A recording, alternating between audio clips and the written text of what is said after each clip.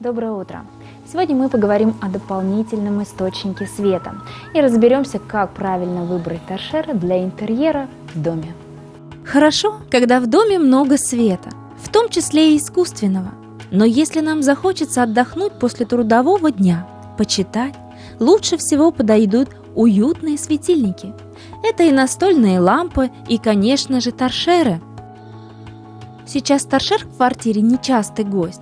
И напрасно, ведь в отличие от люстр и бра его можно переставлять в любой уголок комнаты без монтировки и других неудобств.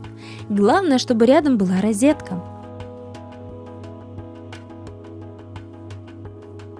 Традиционный торшер. Он состоит из опоры и абажура. Но современные модели могут удивлять оригинальными дизайнами. Высота напольных светильников от полутора до двух с половиной метров. Причем высокие торшеры уместны в просторных помещениях, а для небольших комнат нужны варианты поменьше. При выборе главное определиться с назначением торшера. Он может быть фоновым или для чтения книг. Фоновый обычно маломощный, с абажуром, направленный вверх.